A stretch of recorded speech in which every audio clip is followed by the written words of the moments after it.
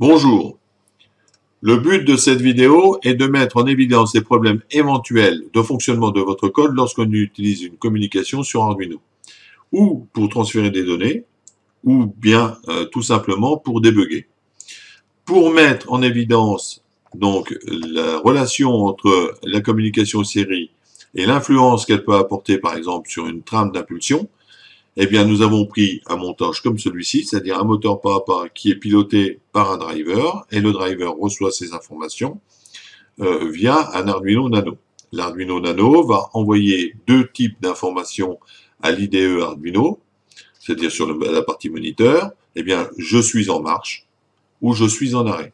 Simplement. Et on va voir qu'avec juste ces informations, eh bien, en fonction où elles sont placées, c'est-à-dire ce transfert d'informations, eh bien, on va voir que ici, la bande de fréquence va bouger. C'est-à-dire, au lieu de passer de 1,3, ben, elle va chuter en fonction d'où on la positionne dans le programme. Alors là, on va vous présenter un programme qui est donc, je dirais, fonctionne correctement. Euh, et après, on va voir comment, euh, si on n'avait pas utilisé ce code, comme il est présenté là, eh bien, on verrait que les choses se dégradent rapidement. En l'occurrence, voici donc le programme. On va pas voir l'intégralité du programme, on va voir ce qui est important euh, de faire ressortir. Alors ici, on initialise la communication série. On l'a mis à 115 200 baudes.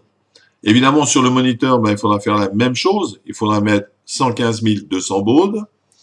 Et ici, on va détecter le bouton marche avant et on envoie le train d'impulsion sur le moteur et on va signaler donc à l'opérateur qu'on est en marche avant.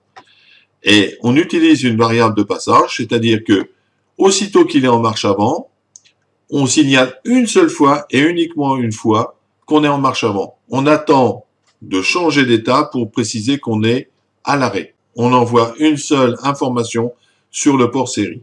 On va voir maintenant ce que ça donne. Je vous mets le moniteur série donc en action. On va mettre le bouton marche en service. Voilà, on a juste marche avant, ce que je vous avais dit. Il se trouve dans la boucle loop. Donc ça veut dire que si on l'avait placé euh, dans un autre endroit, et on verra tout à l'heure, eh bien en ce moment, il s'afficherait en permanence. Là, non, on envoie l'information. On a une balise qui nous dit, bah voilà, on est passé là, on l'envoie une seule fois. Donc on a envoyé une seule information sur le bus euh, série. Et on s'aperçoit de quoi? On s'aperçoit qu'en ce moment, on tourne à 1,3 euh, kHz de fréquence. Donc, si on reprend notre petit schéma de tout à l'heure, ben on s'aperçoit que ce train d'impulsion est continu en ce moment. Comme vous pouvez le voir sur la vidéo. On va appuyer sur arrêt. Donc, tu coupes le moteur. Et cette fois-ci, vous allez voir, on va changer la vitesse de communication entre le moniteur série et Arduino. On va passer à 9600 baudes. Voilà. Je coupe mon moniteur. Je remets ici, pour l'initialisation, 9600. Je transfère mon programme. Donc là, la modification est effectuée. Je mets mon moniteur en service. Maintenant, mettons en route. On a toujours la marche avant qui vient d'arriver et on est toujours à 1,3 kHz. Donc vous voyez, là pour le moment, il n'y a rien qui a changé. On a changé donc les 115 000 en 9600, et là ça ne change pas grand-chose. Alors maintenant, on va voir qu'est-ce qui peut se passer autrement. Bon, on va l'enlever simplement. Ici, là, vous voyez, envoie du message à l'opérateur. Si mon passage est égal à 0, eh bien, donc j'indique que c'est la marche avant. Aussitôt qu'on a affiché qu'on a envoyé sur le port série, eh ben, l'information marche avant, on met la balise de passage à 1. Donc du coup, elle ne passera plus ici. Donc on n'occupe plus le port série. Pour ce faire, on va supprimer le passage euh, dans cette balise et on va faire apparaître cette fois-ci la marche avant aussitôt qu'on passe dedans.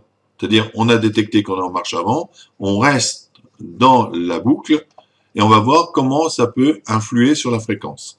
Je fais mon transfert, je mets le moniteur, donc on enclenche le moteur. Là, il nous dit qu'on est en marche avant, c'est ce qu'on aurait pu faire sans s'embêter. Et on s'aperçoit de quoi? Eh bien, on est à 68 Hz. Et vous pouvez remarquer que le moteur ne décolle pas. Vous voyez bien qu'en envoyant une information en continu sur le port série, eh bien évidemment, on est tributaire après euh, donc euh, des informations, c'est-à-dire le train d'impulsion qui attaque notre driver. Alors, on peut trouver un superfuge. On va faire autrement cette fois-ci maintenant. On va augmenter la fréquence et je vais modifier dans mes paramètres d'initialisation enfin, le, débit de communication, non pas la fréquence, le débit de communication entre le moniteur et Arduino. Je transfère. Donc là, on peut couper pour le moment. Voilà. La marche avant apparaît tout le temps. Vous voyez, on scrute, on envoie l'information tout le temps en permanence. Et on va regarder. Ah, le moteur tourne. Mais on s'aperçoit au bruit que le moteur tourne pas à la bonne vitesse. La preuve, on est à 840 Hz. 840 Hz. Donc on s'aperçoit effectivement qu'on vient là de passer une étape puisqu'on a augmenté euh, donc le débit entre l'Arduino Nano et euh, l'IDE Arduino, enfin tout du moins le PC, et on s'aperçoit que les informations fusent beaucoup plus vite, et donc du coup bah, libère l'Arduino, et du coup bon, lui il peut faire son train d'impulsion. Donc voyez bien qu'il est important de bien utiliser les bons codes aux bons endroits, parce que dans un cas comme celui-ci, eh bien ça peut influer sur la vitesse du moteur. Alors, je vous l'ai dit tout à l'heure, pour une température, pour euh, des tas de, de, fonctionnements différents, température, détection de gaz, euh, piloter un moteur à courant continu, etc., ben, euh, on ne verra pas beaucoup de résultats. en revanche, quand on fait des trains d'impulsion ou des choses comme ça, ben, ça peut poser des problèmes. J'espère que ce tuto vous sera utile, ou ces explications tout du moins, et je vous dis donc à la prochaine fois. Au revoir.